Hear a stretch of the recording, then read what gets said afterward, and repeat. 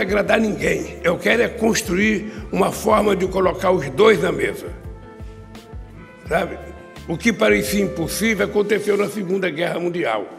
Pessoas que pareciam que não iam conversar, conversaram. Mas não precisa destruir o mundo para poder encontrar paz. Não é, não é obrigado a destruir. Ou seja, pare enquanto é tempo.